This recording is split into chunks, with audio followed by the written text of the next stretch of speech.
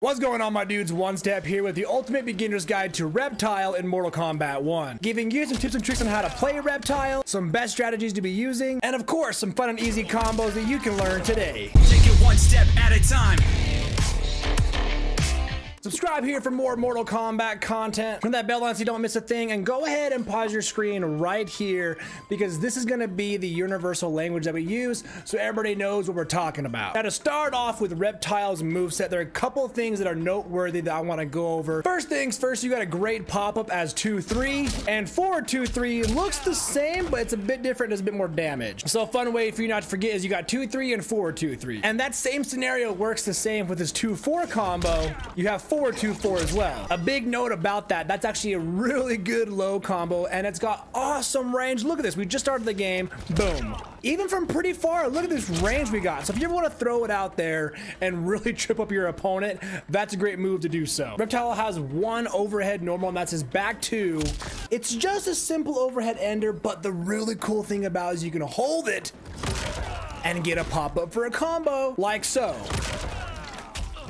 Your back two overhead is unfortunately your only normal option, but you do have an air special with your down back four and that's an overhead. Now, quick side note with that special, I love it because you can use it jumping forward or backward and just really throw your opponent off guard. So if you want to jump in and make your opponent think you're going to hit them, psych, we're going to do a special instead.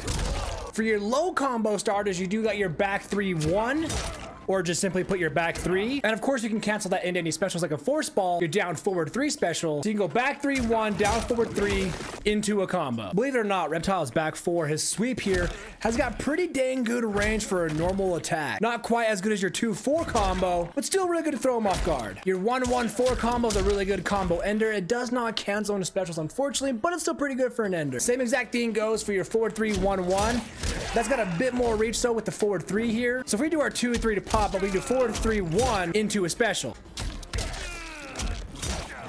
Now for Reptile's air combos, unfortunately, you only have, you know, two really good options here. We have our completed 1-2 combo and our completed 2-3-3 combo. Your 2-3-3 is a pop-up for combo extension on the ground. And after thorough investigation, I have found that your 1-2 really just wants to go into your down back 4 air special, but it's still pretty good damage for no bar, and I'll show you why. So let's go ahead and do our 2-3 to get our opponent in the air, and then we'll jump and show you the air combos. 2-3, 1-2, as you can see, we can't really land before our opponent to continue that, but we can do our air special after that, our down back four, like so.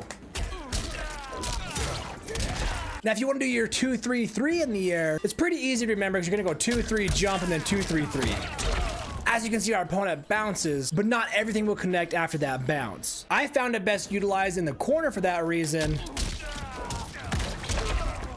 now for reptiles wake up attacks, you got two really good options. Your first one is of course your back forward four and that's a low but if you enhance it you get armor. You do have your back forward two option for an overhead at the end there. The problem with your back forward two is if your opponent blocks it you are super unsafe. So if they bait your wake up attack and you do that they're just gonna get a free combo off on you so you can do that but another option i like to do is a force ball wake up with that because if it does hit, I get a combo. So if I risk it for a wake up, I would prefer a special attack that gives me a combo if hit and your back forward two doesn't do that, but your down forward three force ball does. If you really want to play it safe, again, your back forward four enhanced does get armor. Now to quickly go over some noteworthy things about Reptile's special moves is of course the giant elephant in the room and that's him going invisible.